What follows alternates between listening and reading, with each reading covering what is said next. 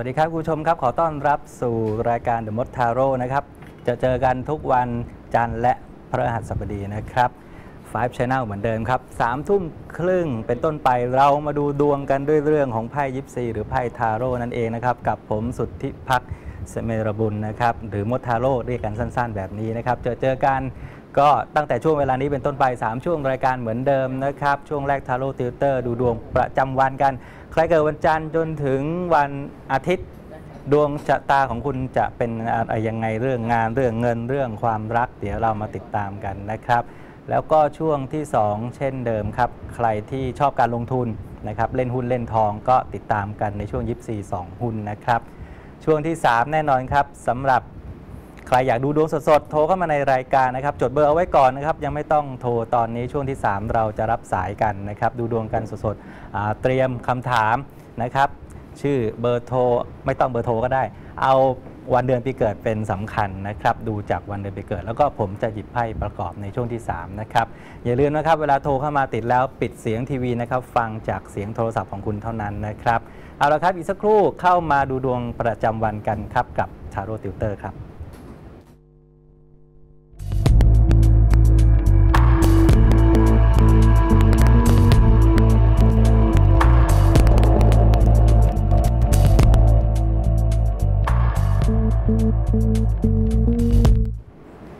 นี่ก็เข้าสู่เลยเดือน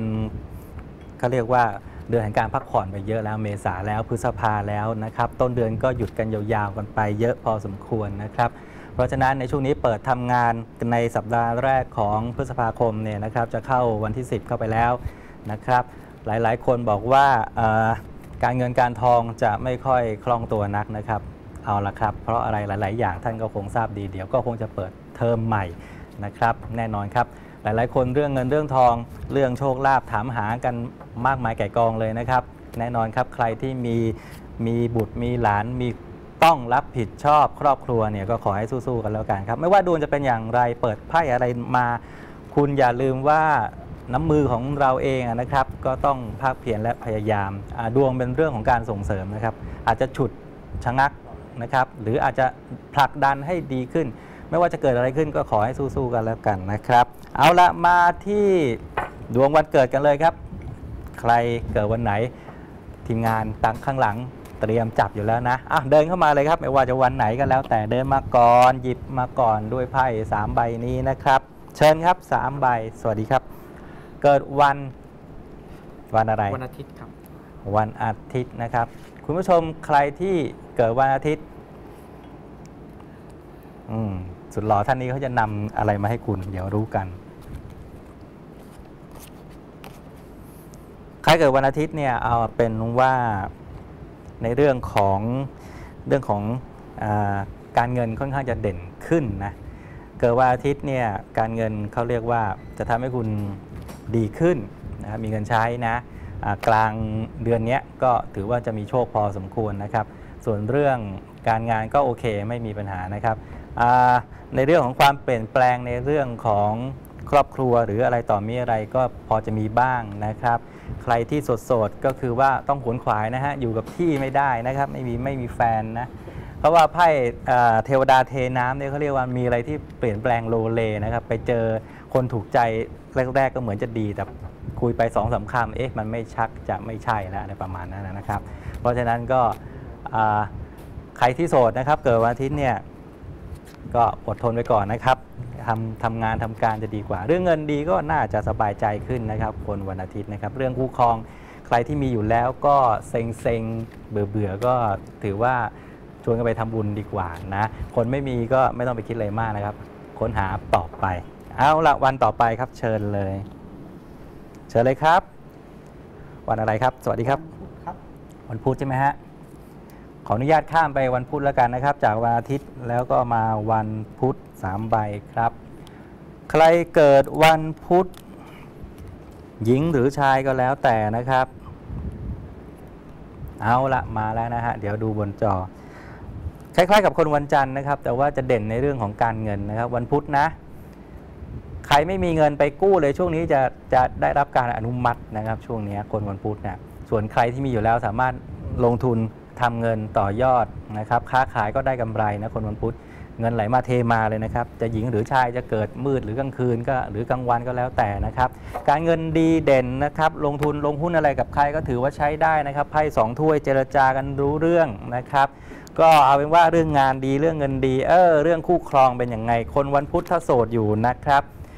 คุณจะเจอคนที่เขาเรียกว่า คนมีสตางค์นะครับถ้าเกิดว่าคุณเป็นผู้ชายคุณอาจจะ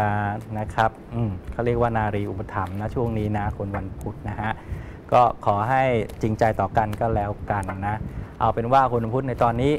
นะครับไม่ต้องไปคิดอะไรมากครับทำงานทำเงินค้าขายก็ถือว่าโอเคละถูกโฉลกไม่ว่าคุณจะทำอะไรนะครับมันลงตัวไปหมดในช่วงนี้ งานที่ทำอยู่ถ้าเกิดว่าเป็นลูกจ้าง ก็จะมีข่าวดีในเร็วๆนี้นะครับอาจจะได้ปรับเงินเดือนขึ้น หรือจะได้อ่างานเพิ่มแล้วก็รายได้เพิ่มอะไรประมาณเนี้ยนะครับอะดีไปทุกเรื่องเลยครับคนวันพุธอืมเชิญครับวันต่อไปมายืนรออยู่แล้วเดินมาเลยครับทำใจนิ่งๆ สบายๆวันอะไรฮะวันพฤหัสครับต่อกันที่วันพฤหัสนะครับ คุณผู้ชมครับสามใบนะครับ เกิดวันพฤหัสบดีเนี่ยจริงๆ ในช่วงนี้ถ้าดูสัปดาห์ที่แล้ว นะครับก็ถือว่าเป็นช่วงที่ใช้ได้เลย จะต่อเนื่องมาถึงสัปดาห์นี้หรือเปล่า อืมแน่นอนครับดวงยังดีอยู่นะฮะคนวันพฤหัสนะฮะไม่ว่าเรื่องอะไรนะฮะเรื่องงานเรื่องการเรื่องครอบครัวนะครับเรื่องแปลกๆ เรื่องเซอร์ไพรส์จะมีเข้ามานะครับ คนที่เกิดวันพฤหัสนะครับ ยิ่งไปทำงานต่างถิ่นต่างที่แล้วเนี่ยความอุดมสมบูรณ์ในเรื่องของ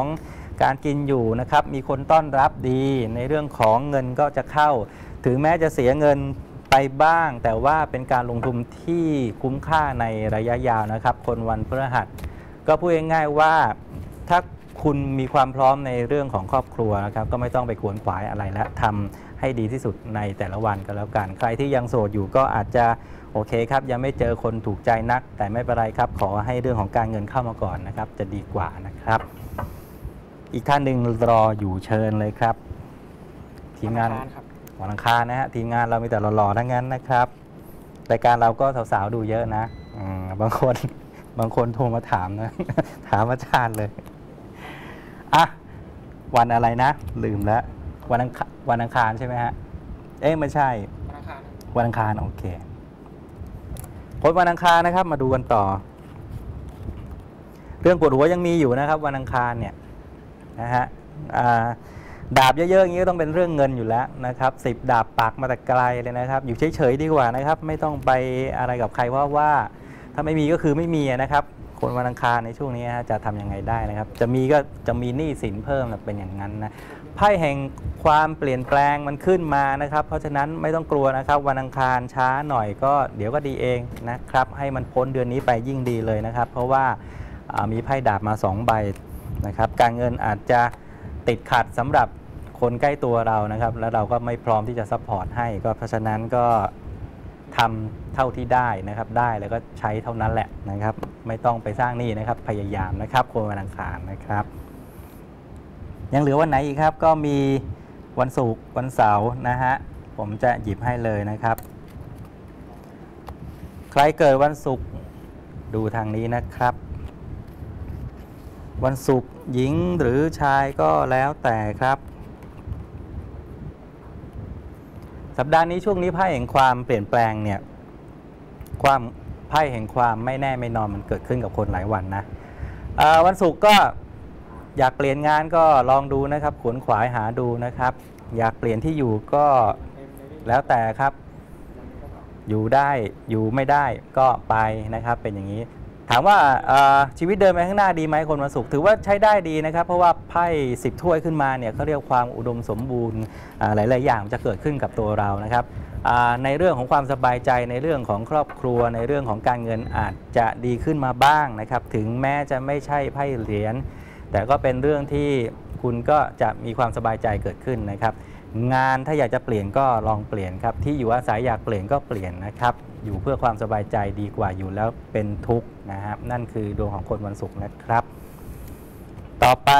ที่ยังเหลืออยู่คือวันเสาร์นะฮะวันสุดท้ายที่ของสัปดาห์นี้นะครับ ใครเกิดวันเสาร์เดี๋ยวรอสักครู่นะครับ คนวันเสาร์เนี่ยสัปดาห์ที่แล้วก็ค่อนข้างจะแรงนิดหนึ่งในเรื่องของการงานกับการเงินนะฮะต่อกันที่วันเสาร์ครับ จะหญิงหรือชายก็แล้วแต่นะครับ เกิดวันเสาร์เดี๋ยวดูไพ่นี้ครับ ดวงแรงแบบไหนครับคนวันเสาร์ครับ เรื่องเงินนั่นเอง เอาละการเงินของคนวันเสาร์กำลังจะดีนะครับ ถ้าเกิดว่าใครลงทุนอะไรแล้ว ผลสำเร็จมันจะเกิดขึ้นในเร็ววันนี้นะครับสิบเหรียญเนี่ยเขาเรียกว่าทำงานทำการมือขึ้นในช่วงนี้นะฮะยิ่งคนค้าขายนะครับ เกิดวันเสาร์ด้วยดีมาก นะครับสำเร็จทุกเรื่องนะครับเพียงแต่ว่าถ้าคุณเป็นผู้ชายที่เกิดวันเสาร์เรื่องของความเจ้าชู้เรื่องของการที่จะอยากไปคบหาใครเพิ่มเติมอันนี้ต้องระวังนะครับ เพราะว่าคุณจะเสียเงินนะครับ เอาละผมตกไปวันหนึ่งอขออภัยด้วยนะครับคุณผู้ชมเหลือวันจันทร์นะฮะวันจันทร์ช่วงนี้คนวันจันทร์เนี่ยค่อนข้างจะมีปัญหาเยอะไม่รู้ว่าไพ่ จะเคลียร์ให้คุณได้หรือยังปัญหาต่างๆ ที่เกิดขึ้นตั้งแต่สัปดาห์ที่แล้วนะครับ เอาละคนวันจันทร์แน่นอนฮะมาแล้วนะครับเรื่องของการเงินนะครับ ค่อนข้างจะดีนะครับคลี่คลายขึ้นแน่นอนนะครับ ตั้งแต่วันพรุ่งนี้เป็นต้นไปนะครับใครเกิดวันจันทร์เรื่องเงินจะกู้จะลงทุนทำได้หมดนะครับ การเงินคุณจะเริ่มดีขึ้น ใครที่ไปขอเงินใครแล้วไปขอยืมหรือว่าพูดไปแล้ว เขาปฏิเสธมาคุณอาจจะได้รับคำตอบที่ดีนะครับ อาจจะมีเขาเรียกว่า feedback ดีๆ กลับมานะครับ อยู่ๆก็โทรกลับมาหาว่าเป็นยังไงบ้างมีเงินใช้ไหมอะไรแบบนี้นะครับ คนวันจันทร์จะมีเรื่องเซอร์ไพรส์เรื่องการเงินเข้ามานะครับ จากครอบครัวจากคนใกล้ตัวจากคนทางบ้านอะไรประมาณนี้นะครับใครอยู่ไกลๆ แล้วก็เกิดวันจันทร์เนี่ยถือว่าจะมีความสำเร็จดีนะครับ ในเรื่องของการงานและก็การเงินนะครับ ความรักของคนวันจันทร์ก็คงจะต้องอ ขอแสดงความเสียใจนะครับ ถ้าเกิดว่าใครจากคุณไปแล้วยังไม่มีใครเข้ามาก็ไม่ต้องไปคิดมากนะครับ อยู่ด้วยตัวของเราเองจะดีกว่านะครับ ทั้งชายและหญิง ครบ 7 วันแล้วนะครับคุณผู้ชมครับ SMS ยังส่งได้ต่อเนื่องเรื่อยๆนะครับ ก็ถ้ายังมีเวลาเหลือเราก็จะมาตอบให้นะครับ ส่วนหมายเลขโทรศัพท์ที่จะโทรเข้ารายการนะครับ ก็จดเอาไว้ก่อนนะครับ เอาไว้ช่วงที่ 3 ค่อยโทรเข้ามานะครับ อีกสักครู่มาพบกับช่วงต่อไปนะครับยิปซีสองหุ้นครับ